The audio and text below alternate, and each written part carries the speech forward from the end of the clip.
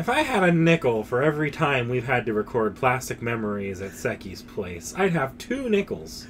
Which isn't a lot, but it's irritating that it happened twice. I thought you were gonna say it's interesting that it happened twice. Rude, calling me irritating.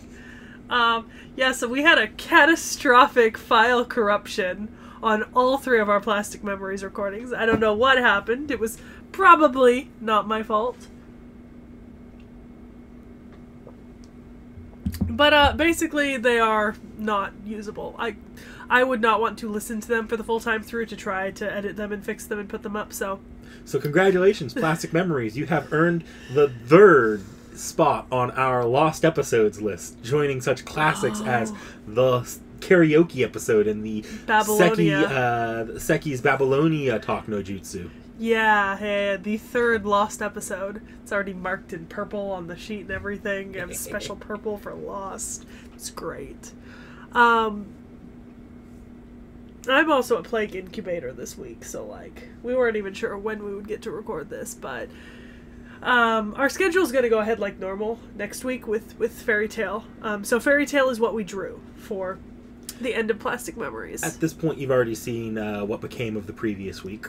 Yes, yes. So, uh, congratulations to all you Fate fans. This is what we do when a recording file corrupts and we need videos. Fate.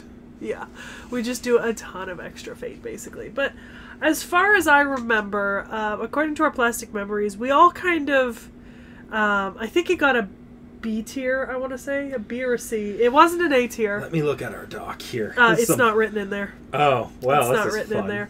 Um, so we didn't all approve it, but a few of us did. Um, it was whose whose submission was? it? I think it was Warren's, right?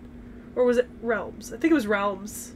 That sounds Something right. like that. Yeah. Yeah, because because Realm has seen it before, so it was Realms.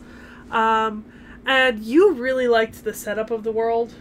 I like the setup, but I absolutely hated the series. Yeah, I wasn't a huge super fan. I thought it was okay, but it was kind of just another thing in this long list of like really depressing shit that we've watched recently, and I was not in the emotional mind space to appreciate it.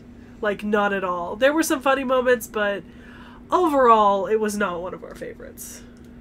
We'll retally the uh, likes and like the approvals and the mez by the end of this. I'm I'll sure. look. I Just throw up like a little visual indicator right here. Maybe not in that spot, but giving me extra work.